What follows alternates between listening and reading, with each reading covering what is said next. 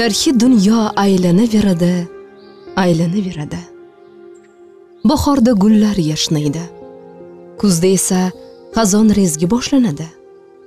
Kechagina hammaning ko'zini quvnatgan tabiat serjilo rangini yo'qotib boradi. Barglar bitta bitta bo'lib to'kila boshlaydi.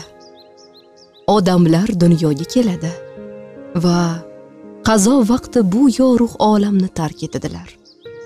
Hammasini yaratgan egam vaqtli soatli qilib qo'ygan. Biz inson zoti ham hammasi o'z vaqtida bo'lishini xohlaymiz va shunday bo'lishiga umid qilib yaratgandan iltijo qilib yashaymiz. Ammo har doim ham shunday bo'lavermaydida. Ba'zida faqat o'zigagina ayon kutilmagan hodisalar falokatlar ro'y beradiki ulardan teran aql bilan xulosa chiqarib yashashga majburmiz. Bu hodisalarga duchor bo'lmaslik kafolati aslida hech kimga berilmagan. Demakki qosh bilan qovoqning o'rtasidagi ajal sharpasini hamisha his etib o'zidangina panoh tilab yashashimiz shart. Agar peshonamizga bitilgan bo'lsa yana yashash baxtiga muyassar bo'lamiz.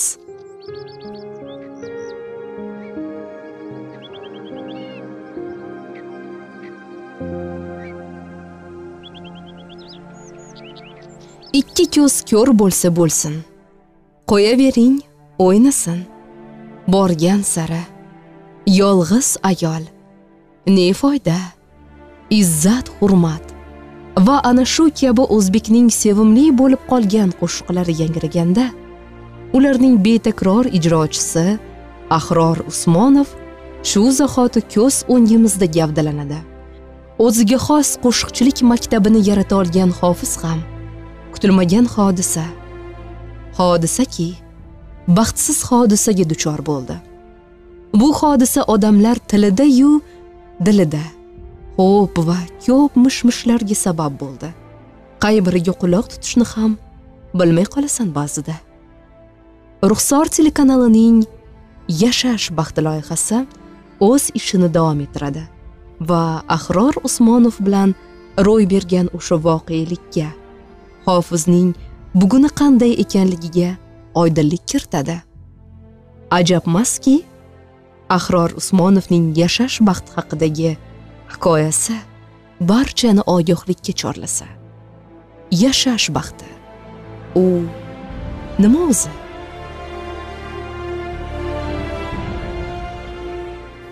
Man bir ming to'qqiz yuz oltmish oltinchi yili beshariq ilgari kirov rayoni deyishardi. O'sha sho'roqlar davrida soyuz paytida. Kirov rayonida hozirgi paytda mana beshariq tumani bo'lgan e, o'sha kirov rayonini shaharda o'zida o'sha beshariq shahrida tug'ilganman. Yoshligimiz kamchiliksiz o'tgan chunki otam e, bizni hech qanaqa kamchiliksiz katta qilganlar. Otam onam otam rahmatli savdo xodimi bo'lganlar va onam rahmatli rus tilidan dars berganlar o'qituvchi bo'lganlar. Oilada bosh farzand bo'lganman man. Mana shu bog'chaga borgan paytimizda rus bog'chasiga borganmiz. Hamma bolalar qatori shu bog'chada bog'chani tarbiyasida bo'lib bitta shu nimam bor ediki shu musiqadan dars o'tishardi musiqa musiqadan. Har bayramlarga tayyorgarlik qilishardi o'sha yerda. Hamma bolalar qatori qatnashardimu. Manda bir boshqacha qiziqish bo'lardi o'sha paytda. O'sha pianino chalayotgan o'sha pianinochi opani qo'llarini qanaqa qilib yurishi va pianinani klavishlari qanaqa qilib bosilayotganiga qiziqib tomosha qilib o'tirardim. Ruscha qo'shiqlar bizga o'rgatishgan. O'sha ruscha qo'shiqlarni aytib shu bilan e, musiqaga bo'lgan qiziqishim o'sha paytdayoq boshlangan ekan. Keyin bir birinchi sinfga maktabga bordik.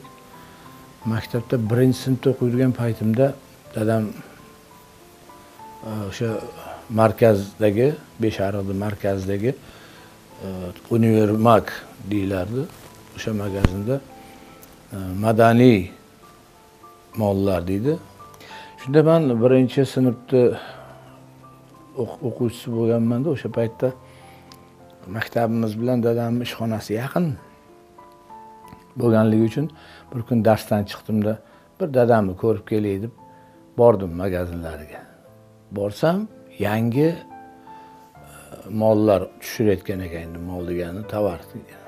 Olib kelishgan ekan uni ichida rubob dutor doira va boshqa boshqa chalg'u nimalar asboblar. Shu paytda man qulog'imga bir rubobni ovozi eshitildi. O'zbek musiqasi yangrayapti. Rubob qashqar rubobida o'sha paytda o'n yetti so'm bo'ladi rubob magazin rubob deyishardi bir u bir qanaqadir bir urug'imiz bo'ladi bir nomon aka degan bir.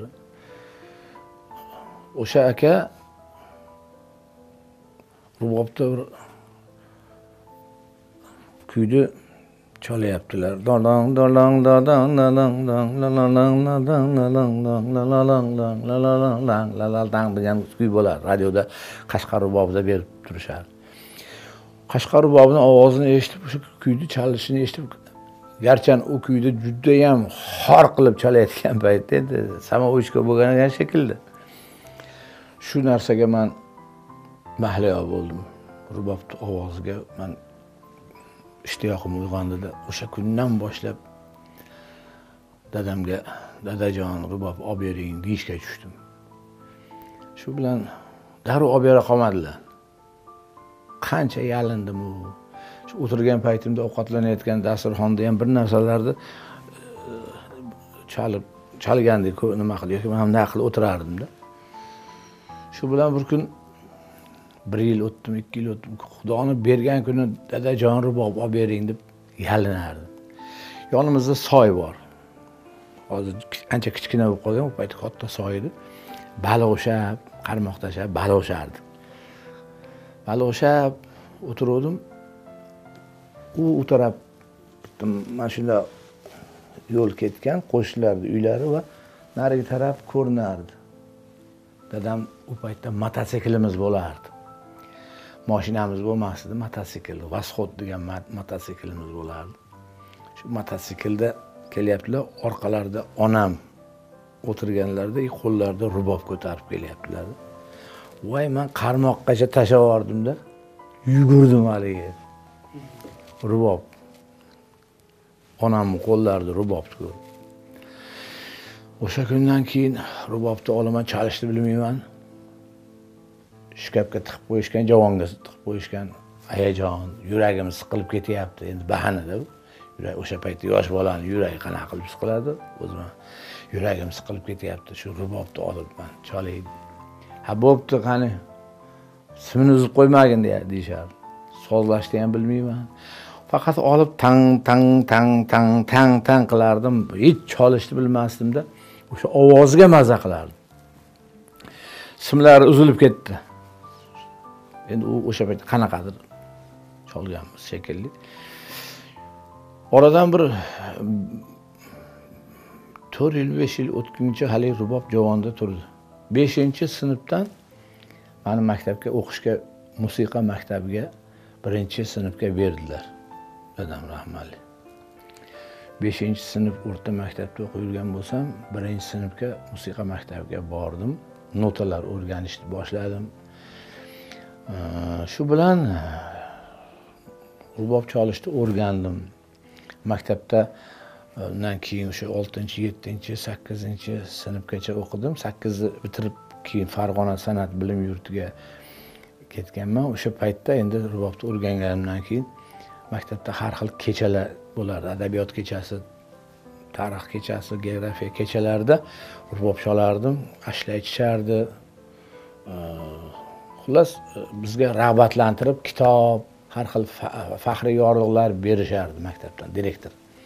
Bundan biz haligi nima rag'batlanib yana ham bir qiziqish ortardi. O'zi shunaqa bo'lishi kerakda shu kimgadir qandaydir rag'batlanish bo'lsa o'sha kasbida qiziqish bo'ladi. Va yana ham olg'a yuradi. Har bir kasbda shunaqa. Keyin shu bilan e, farg'ona san'at bilim yurtiga o'qishga kirdim. Dadam mehnatlar juda yam katta bo'ldi. Chunki maktabda musiqa maktabida o'qib yurgan paytimizda yevropa klassikasidan berardi. Man tushunmasdim bu har xil nimalar. Biz man faqat o'zbekcha kuylarni yaxshi ko'rardim. Bizga motsartni asarlarini berardi betxovenni asarlari u bu. Man e deb darslarga ham kirmagan paytimizda domla dadamga o'g'lingiz kelmayapti. Aytganda dadam manga qattiq qo'llik bilan turganliklari uchun shu o'qishni beshga bitirib farg'ona san'at bilim yurtiga keyin o'qishga kirganman. O'qishga kirishimdan oldin e,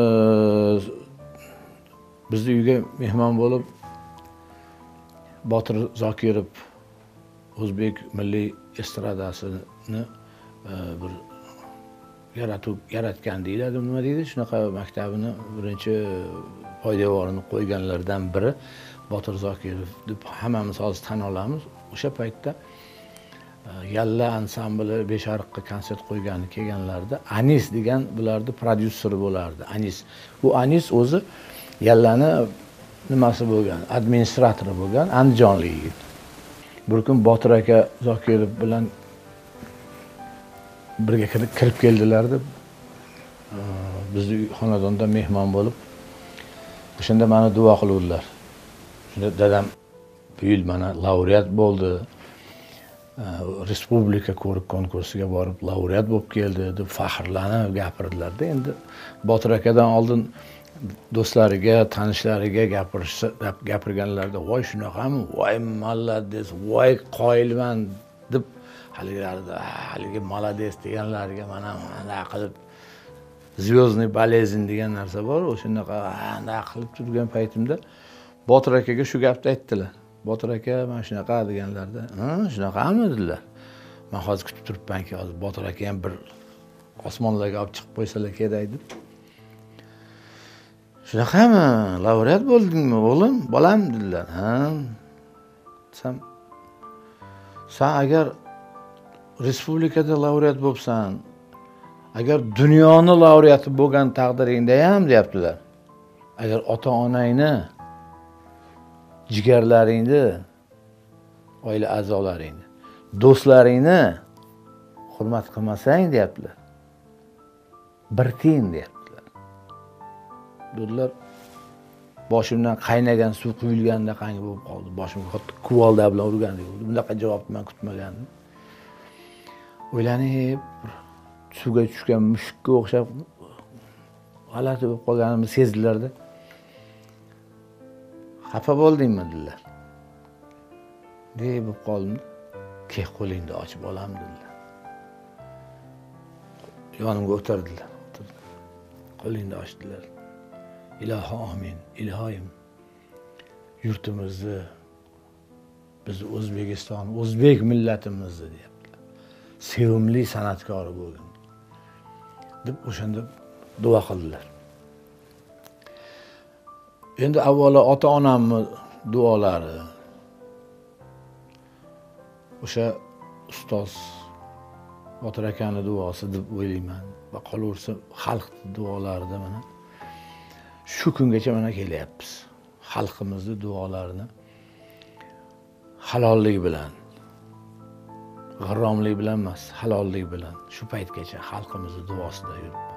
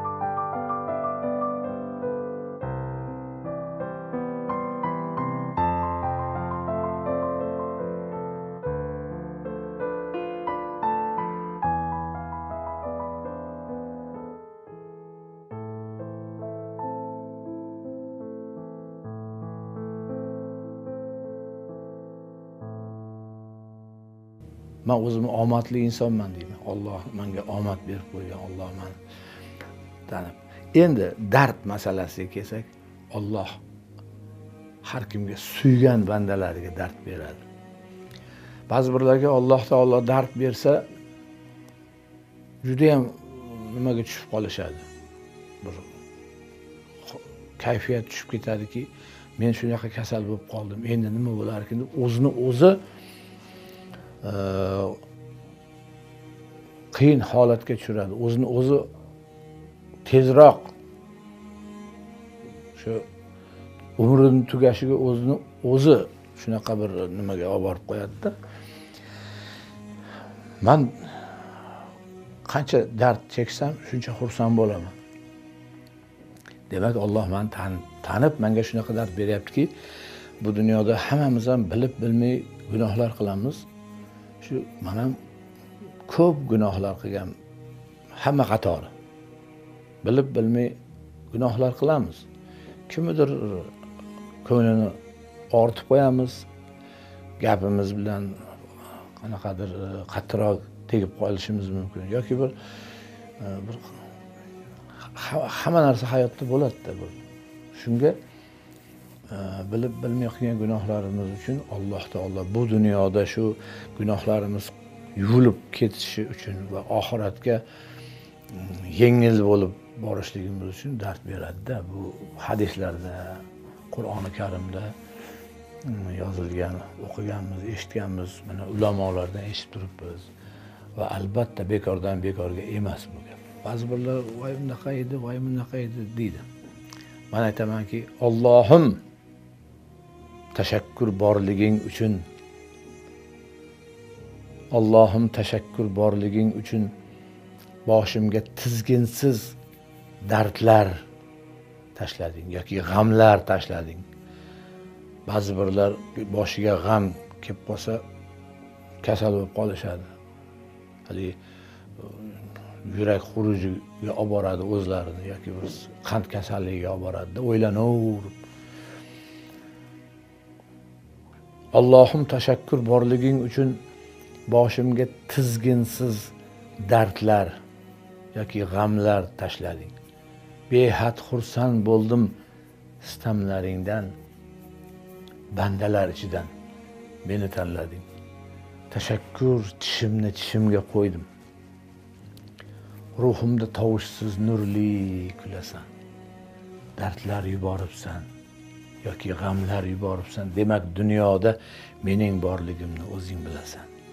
Bu she'rni bir kuni xizmatdan kelib beshyog'ochda muzikantlarimizni yotoqxonasi bor shu yotoqxonadan olib yotoqxonaga olib kelib bo'pti bo'lmasa deb xayrlashayotgan paytimiz endi bo'pti yaxshi dam olinglar.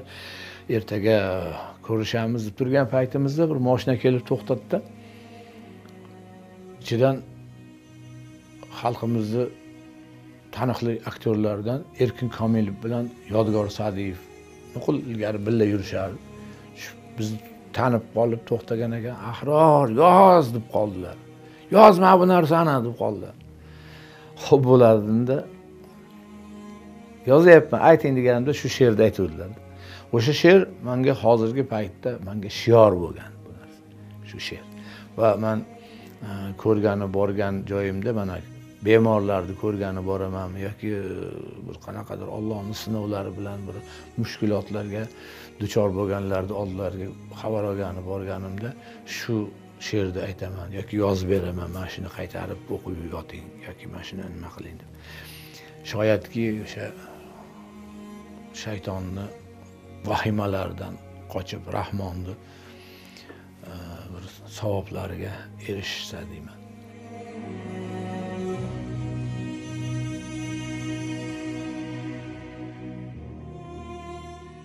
Man ham boshimdan ollohni sinovlarini mana o'tkazgan kunlarim bo'ldi. ikki ming o'n oltinchi yili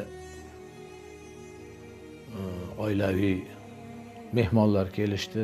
U yoqdan bu yoqdan tug'ilgan kunimga mehmonlar kelishdi. Man ularga aytuvdimki kelmanglar. O'shanda shos degan narsa bor yig'ilish o'sha xitoy e, shanxay bir narsa tashkiloti degan tashkilotni e, o'sha yig'ilishi o'zbekistonda toshkentda bo'lgan paytda hamma yoq berkilgan. O'sha toshkentga kirish yo'llari berkitilgan paytda tug'ilgan kunimga boramiz deganlarga telegramda gruppamiz bo'lardi qadrdonlar degan. Shu gruppada hali navoiydan hali denovdan hali xorazmdan hali jizzaxdan hali u yoqdan bu yoqdan e, respublikamiz har yeridan o'sha gruppadoshlarimiz bilan yozishib turardik. Hattoki ba'zi birlarini xonadonlarda xursandchilik kunlari bo'lsa borardik masalan. U beg'araz haligi paloncha pistoncha pulga emas.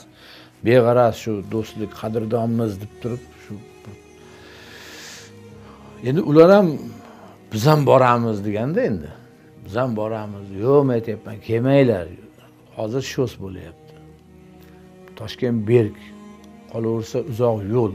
Yo'lda bir narsa bo'lib qolsa man o'zimni o'zim kechira olmayman. Deganimga qaramasdan xullas tug'ilgan kunimga kelishdida ular.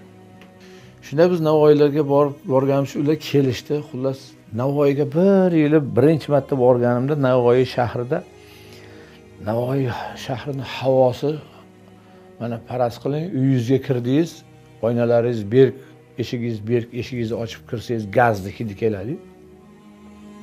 Darrov oynalarni ochib yuborasiz.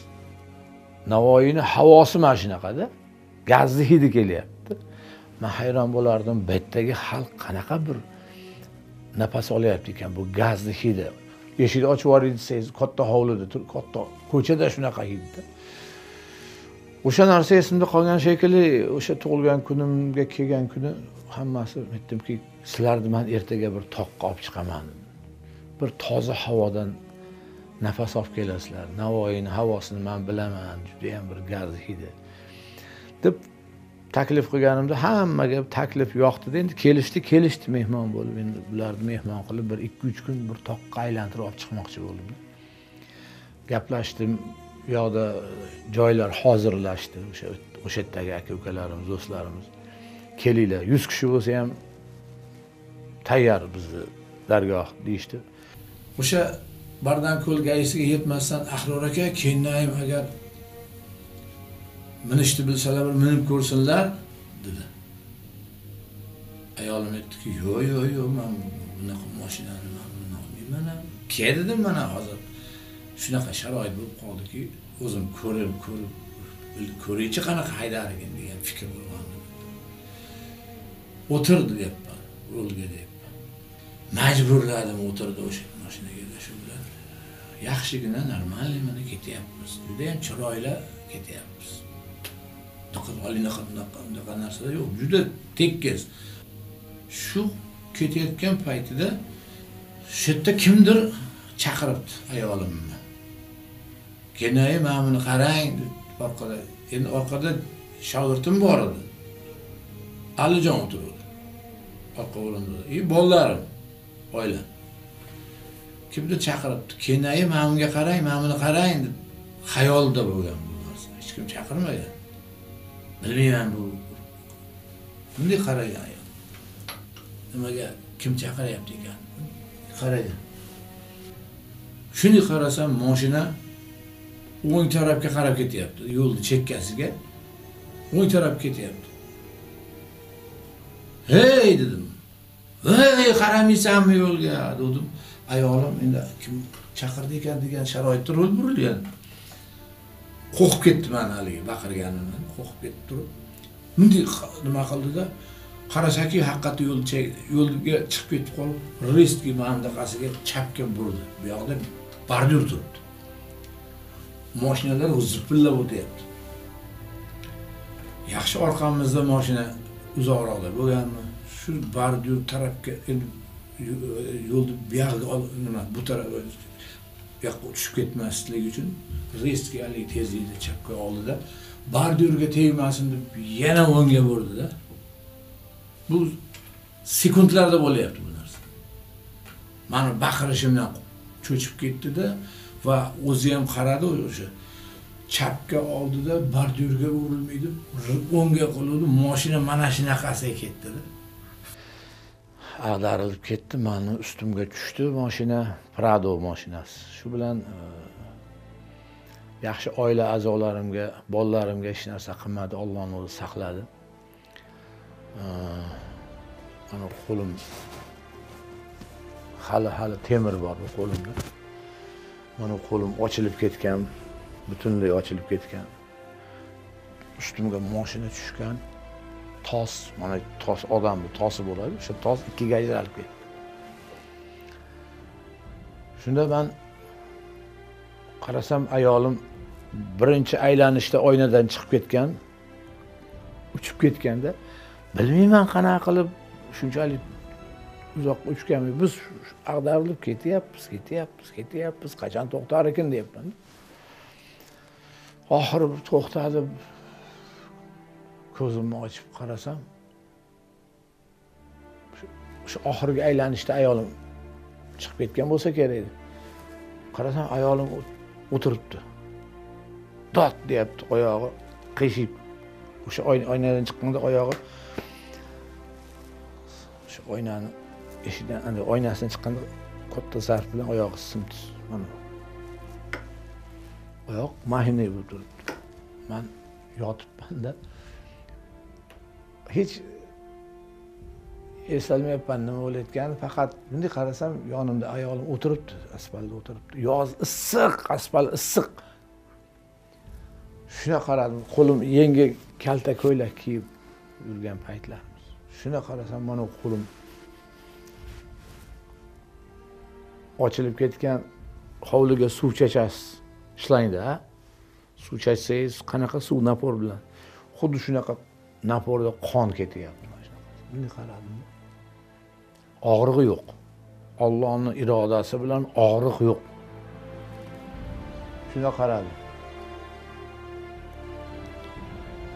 kalima keltirishni boshladi la ilaha illalloh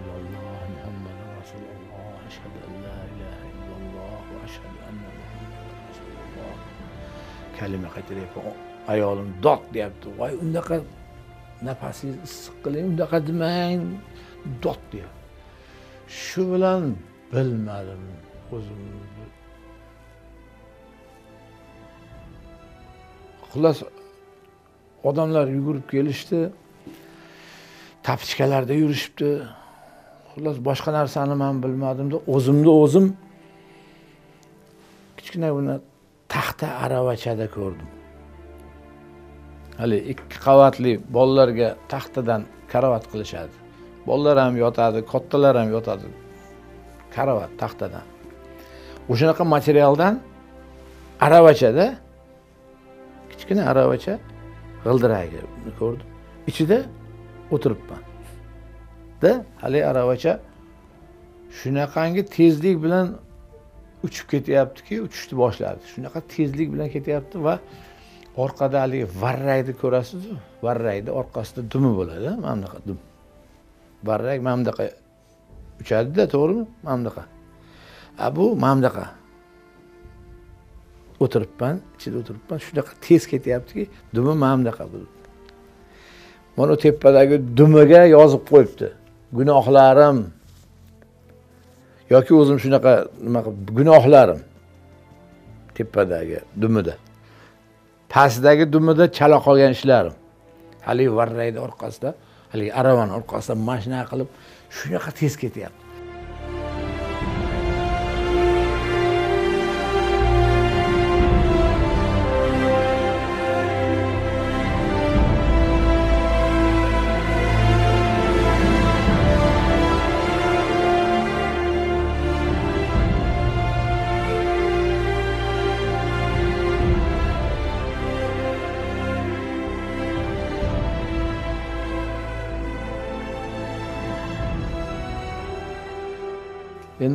Mana o'sha ikki ming o'n oltinchi yili mani ba'zi birlar afsuski shunaqa ham tanishlarimiz bor ekanki man to'g'rimda har xil e, nojo'ya gaplar chiqarganlar ham bor bo'ldi. Keladi gap. Bunisi aytadi bunisi aytadi e, ahror usmonov tamom bo'ldi endi. Ahror usmonov o'libdi. Ahror usmonov qo'liga tor ushalmaydigan bo'lib qolibdi ahror usmonov taqataq tomon bo'libdi deganlar ham. Afsuski shunaqalarni gaplari ham yetib keldi va ikki ming o'n yettinchi yili o'shalarni gaplarini deb bu ham yaxshilikkada endi. Alloh taolo har bir narsani behikmat berilmaydi. O'sha berilgan narsadan aqlni ishlatib foydalanish kerak. Man ularni gaplaridan hech nima qilmasdan aksincha man e, konsert bermoqchi bo'ldim. Mana ko'rib qo'yinglar man borman. Mana ko'ringlar man torch olyapman.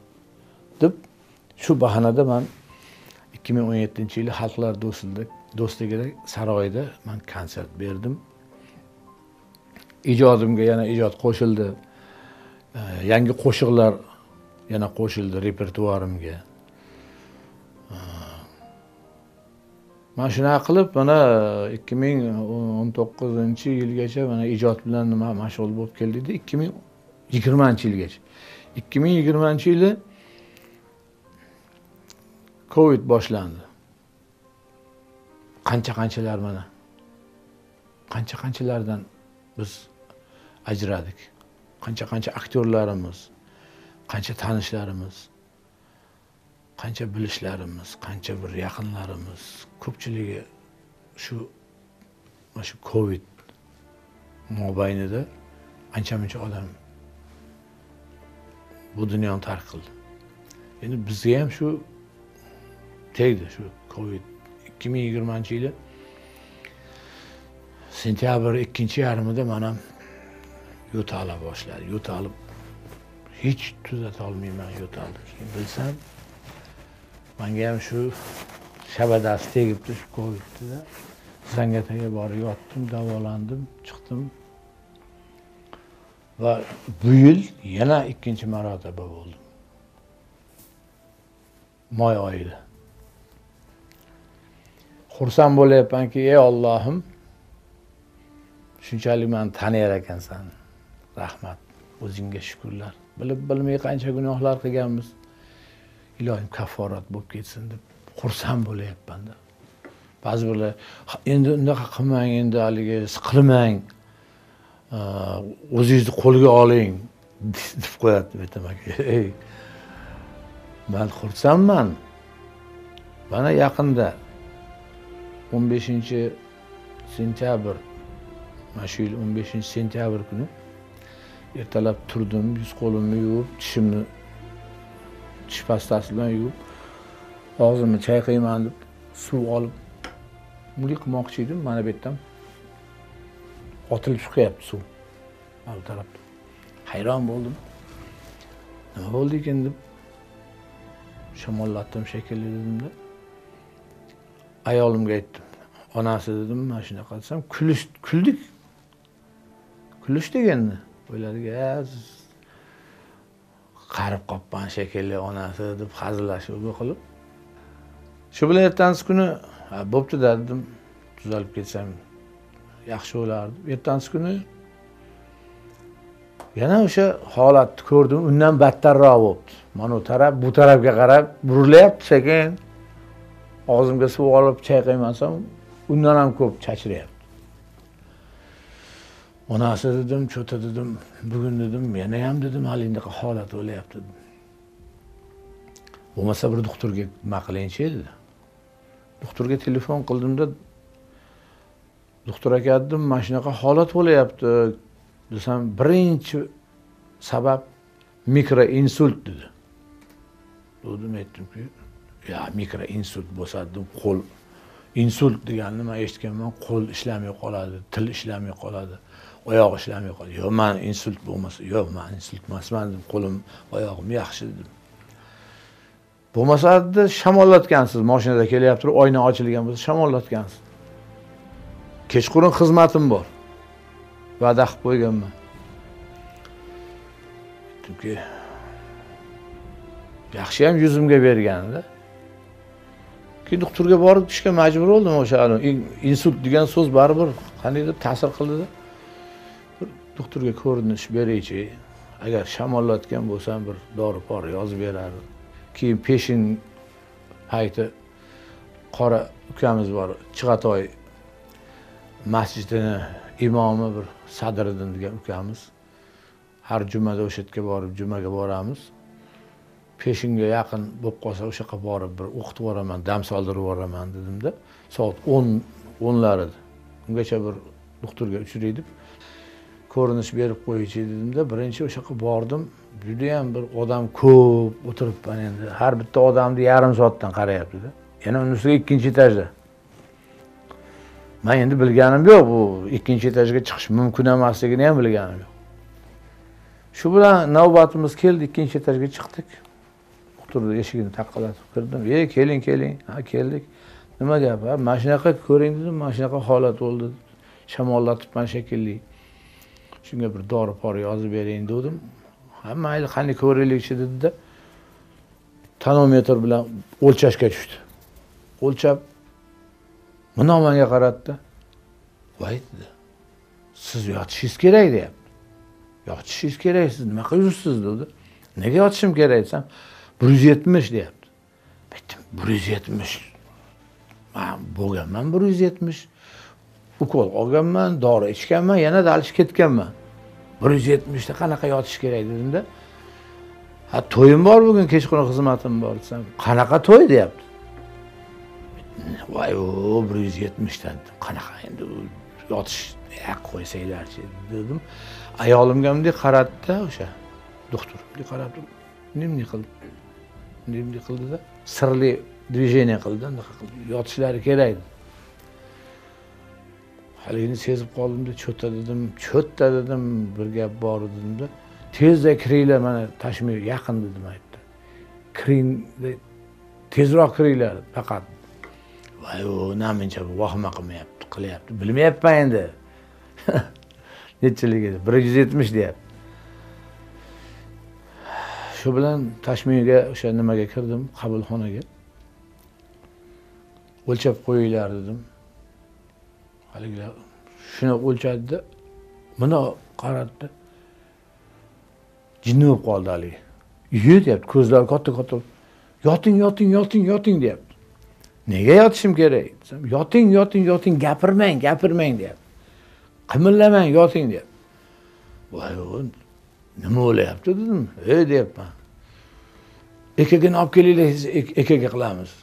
Olib kelish tapir tupur ekaga qilishdida yurak yaxshi. dedi ungacha anavi nevra nimadan doktorlar tapir tupur chiqishida ko'zingizni katta oching e, tilingizni chiqaring haligi taq taq taq qilib haligi bir narsalar qilishdida oyoqqa haligi temir bilan urib qo'lga urib qo'lingizni ko'taring u bu qildi bunday qaradida срочно dedi в реанимацию dedi. Reanimatsiyaga срочно давай g'irr etib oling degani olib kelishdi. Chiqa olasizmi deyapti aravaga deyapti. Man o'zim oyog'im bilan kelgan aravaga chiqa olmaymanmi deyapman chiqdim g'irrillatib olib kirib ketishdi reanimatsiyaga. Hayronman ey ey nima bo'lyapti o'zi? Man o'zimni yaxshi his qilyapman. Xullas kalom olib kirishdi yoting deyishdi. O'tirmang deyapti. Hattoki o'tirmang deyapti. Nimaga? Voy man bugun xizmatlarim bor to'yim bor. Ular mani kutishadi ora mana uch soat to'rt soat qoldi vaqt. Ular hech kimga aytmagan. Endi man ikki soatga gaplashganman endi dejurniy aytilgan. Aytilgan bo'lishi kerak. Keyin xullas kalom muxlislarimiz endi o'ylab turibman ikki soatda ham qo'yib yuborishmaydi ular. Uch soatga boradi degan fikrda yuribman chunki aniq shunaqa muxlislar. Shu bilan deng aytibki to'yim borsam to'y po'yni yig'ishtiring o'n kun kamida qimir etmay rejimda yotasiz deyapti. O'tirmaysiz ham deyapti. Voy man to'yim bor desam man borib kelay deyapman ruxsat beringlar deyapman man ikki soat uch soatda kelaman deyapman. Kelaman yotaman sizlar aytgandek desam qanaqa to'y deyapti? Siz hozirdan chiqib chiqsangiz qaytib kelmaysiz uyingizga ham qaytib bormaysiz deyapti. Shunchalik серьезнойmi shunchalik jiddiymi desam ha deydi. Obbo dedimda keyin haligi to'ydagilarga telefon qilsam dod deyapti ular ham biz boshqa odam aytmagandik. Man aytdimku senlarga dedim dejurniy ansambl endi siz kelsangiz xuddi o'sha aytganimdek haligi majburan emas endi haligi pul berib bo'lsa ham pul qistirib bo'lsa ham shu bir soatga дальше yana uchinchi uch soatga olib qolamiz degan fikrda yurgan ekan. Men aytdim shunaqa holat dedim. To'polon bo'ldi u yoq voy dod endi nima qilamiz? Endi keyin bir ularni bir e, obro'liroq bir alim aka degan bir akamiz bor edi o'shanga telefon qildim alim aka dedim. Qarindoshlaringizga tushuntiring dedim. Mana shunaqa holat dedim. Desam tushundida e, bo'ldi ukam tushuntiraman deb tushuntiribdilar haligilar. Shu bilan e, o'n kun o'sha yerda qimir etmay yotib uyga chiqdim. Uyda ham bir o'n besh kun yotdimda mana muxlislarimiz yana rahmat shu muxlislarimizga. Oila a'zolarimga rahmat. Mana umr yo'ldoshim man bilan qarab manga qarab aytaman oilani erkak kishini yarim baxti bu ayoli ekan oilasi ekan. Qolgan yarim baxti o'zini qo'lida bo'lsa oilasi agar oilasi bilan baxt baxtsiz bo'lsa u erkak kishi umuman baxtsiz bo'lib ketar ekan deb o'ylab qoldimda. Shu fursatdan foydalanib mana mani ko'rgani kelgan muxlislarimizga mana vodiydan ham borishdi. Marg'ilondan borishdi. Quvadan kelishdi. Mana o'sha vodiydan kelishdi xullas. Rahmat. Shularga hozir ekran orqali rahmat aytyapman va albatta oila a'zolarimga rahmat. Allohga shukurlar shuning uchun e, ollohni suygan bandasiga dard beradi. Bu yozilgan qur'onda ham yozilgan hadisda ham yozilgan va dard kelganda xafa bo'lish kerak emas ekan. Man xursandman. Gunohlarim to'kilyapti. Sizlarga katta rahmat. Shunchalik mana shu ko'rsatuvinglarga mani taklif qildinglar mana xonadonimga qadam ranjida qilib keldinglar. Rahmat. Sizlarni mana shu ruxsor telekanalinglar gullab yashnasin chiroqlari shu nuriddinjon boshchiligida charog'on nur sochib tursin. Man bu oilada tug'ilganimdan juda yam xursandman. Man shunaqa ota onam bor. Man bundan faxrlanaman. Manga ota onam juda yam yaxshi tarbiya berishgan. Mani yoshligim juda yam yaxshi o'tgan. Bundan o'zim xursandman. Ertaga ketgan ota onam man uchun judayam qadrli insonlar. Man ularni judayam yaxshi ko'raman. Yoshligimda bizani yaxshi ko'rib katta qilib hamisha bizani oldimizda turganlar keyin maktabda mana shu musiqa maktabida o'qiyman. Gler glerda o'qiyman. Pianistkaman pianino chalaman birinchi sinfdan. Birinchi sinfdan ikkinchi sinfgacha skripka chalganman. Undan keyin adam qizim qiynaladi chapaqay qizim deganlarda pianinoga o'tkazganlar hozir har xil maktablarga borib konsert qo'yib kelamiz judayam xursandman. Man avval unaqa bo'lmasdi skripkada o'qiganimda. Hozir mana pianinoga o'tib har xil maktablarda konkurslarda qatnashib mana shunaqa bo'lyapti qiziqishlarim taekvondoga borganman borganman. Ikki ming o'n to'qqizinchi yil borganman. Har xil musobaqalarga chiqqanman. To'rtinchi oktyabrda borganman. Birinchi musobaqam o'n to'rtinchi oktyabrda bo'lgan. Birinchi musobaqamda ikkinchi o'rin olganman. Oyim qanaqa qilib deganlar boshida bilmaganlar. Xursand bo'lishgan uydagilar keyin adam ham xursand bo'lganlar молодец qizim deyishgan birinchi o'rinlar olganman. O'zim birinchi o'rin olganimda xursand bo'lib yig'lab yuborganman. Chunki qo'limdan kelmaydi deb o'ylovdim qo'limdan umuman hech nima kelmaydi deb o'ylovdim lekin birinchi e, o'rin olib uydagilarga ko'rsatib молодец deyishgan. Atajon ayajon biz sizlarni juda yam qattiq yaxshi ko'ramiz boringlarga shukur. Va sizlar bo'lmaganinglarda biz bunaqa sharoitlarda yashamasdik. Mm, biz sizlar bor ekansizlar biza bormiz Bizning baxtimizga hamisha sog' salomat bo'linglar ikki dunyo saodatini tilayman ikkalovilarga xudo xohlasa katta bo'lsak haj safarlariga olib boramiz bizani baxtimizga hamisha sog' salomat bo'linglar. Biz sizlarni juda yam qattiq yaxshi ko'ramiz dunyo o'zi qiziqda qo'shiqlarga to'la. Uni ijro etuvchi e, hofizlarini ham o'zi bilib bilib tanlab tanlab beradi xudo. Mana o'zbek xalqiga juda chiroyli zabardast e, san'atkorlar hofizlarni berdi. O'sha komiljon otaniyozov tavakkal qodirov faxriddin umarov sherali jo'rayev g'ulomjon yoqubov bunga o'xshagan qancha qancha zabardastlarni berdi. Endi qarang shular qatorida shulardan keyin bizga yana bir vodiyimizni bir bulbuli desak bo'ladi. Bir ajoyib oqil yigit u. Meni yaxshi ko'rgan ukam ahrorjon usmonov. Ajoyib hofiz. Man mm, o'sha farg'ona san'at bilim yurtida dars berganimda bularga dars berganman. Man ustozi bo'laman. Ahror usmonovni o'ziga yarasha ovozi bor va ijrosi bor uslubi bor.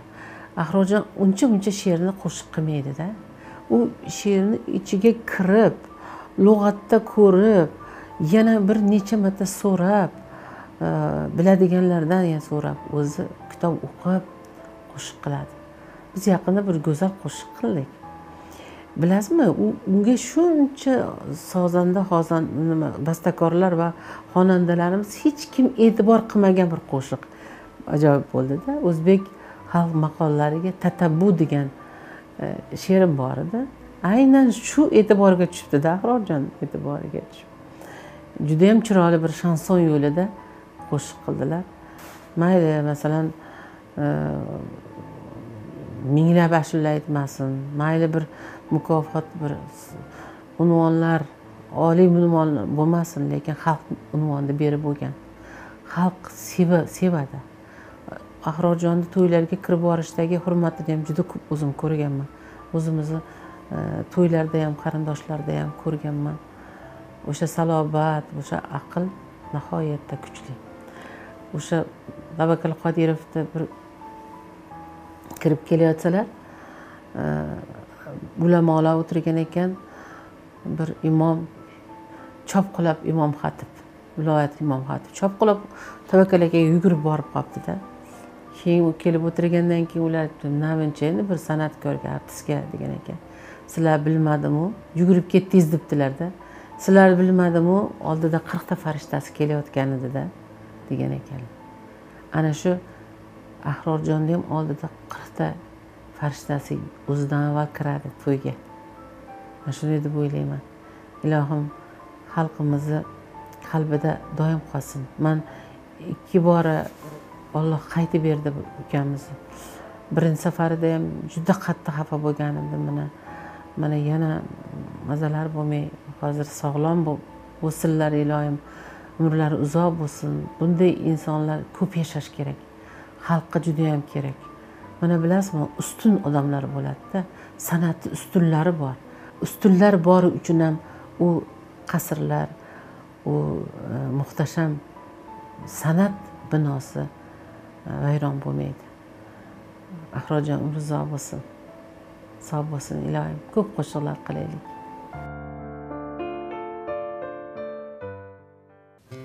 Ilohim muxlislarimiz uchun hali qiladigan ishlarimiz judayam ko'p. Ijodlarimiz hali judayam ko'p g'oyalarimiz ko'p. Shu g'oyalarimizni keyingi ijodlarimizda rivojlantirib xalqimizga hali ko'p yangi ijodlar bilan chiqishlarimiz bo'ladi. Inshaalloh o'sha kunlarga olloh yetkazsin mana shunaqa voqealar bo'lgan. Yashash go'zal. Yashash bu baxt. Har bir inson har bir ekran qarshisida bizni tomosha qilayotgan muxlislarimiz tele ko'rsatuv o'sha tele tomoshabinlarimizni avvalo hayotlari iloyim umrlari yaxshi hayotlari yaxshi yashash bo'lsin. Undanda yaxshi yashash yana yaxshi go'zal degandek hammani umri uzoq xotirjam avvalo xotirjamlik. Sog' salomat bo'lishsin oilaviy baxtli saodatli bo'lishsin qalbimdagi eng ezgu tilaklarimizni televizor orqali tomosha qilayotganlarga tilayman. Alloh sizlarga yor bo'lsin hammamizga yor bo'lsin rahmat hammanglarga xursandchilik kunlarda ko'rishaylik. Man hammanglarni yaxshi ko'raman. Sog' bo'linglar salomat bo'linglar.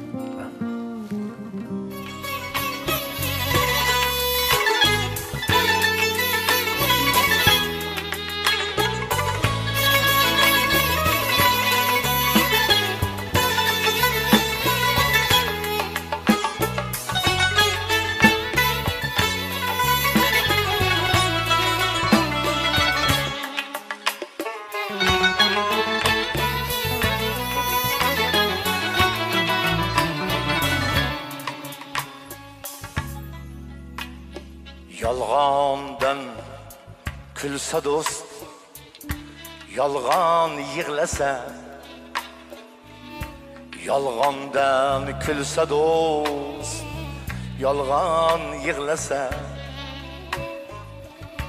dilda g'araz tilda shirin so'zlasa hasaddan amaling shoning ko'zlasa sezmasang beparvo yotganlaringdan yo'qotmog'ing ko'ptur topganlaringdan do'stlaring quvonsa quvonmasa dil birov yig'lab tursa surmasang ko'ngil. Dunyoda o'zingni o'ylasang nuqul. Bilki zalolatga botganlaringdan yo'qotmog'ing ko'p. Topganlaringdan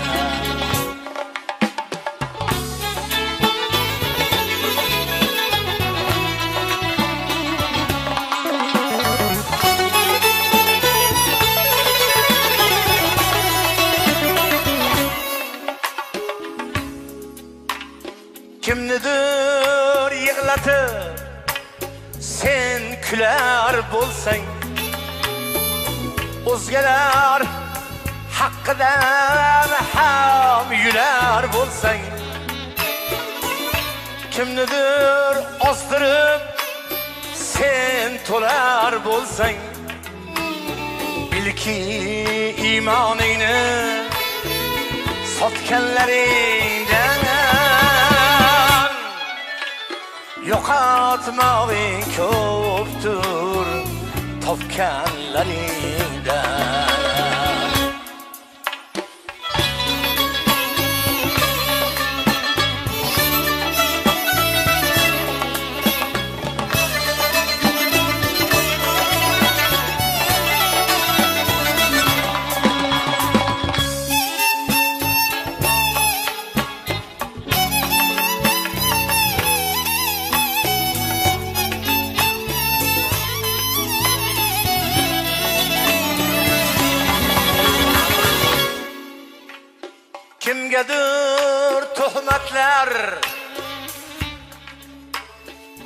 Yağdırıp nahak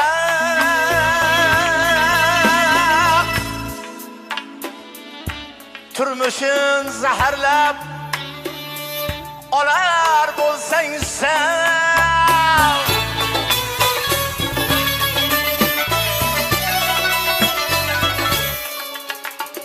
El kasas minel hak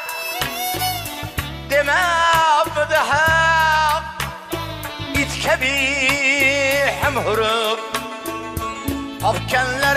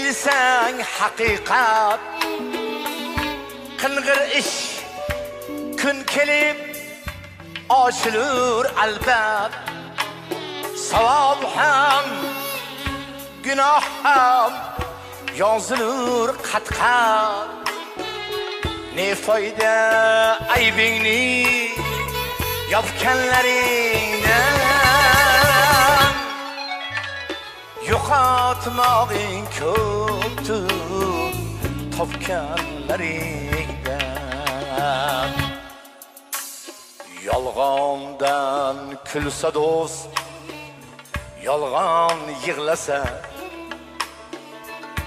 dilda g'araz tilda shirin so'zlasa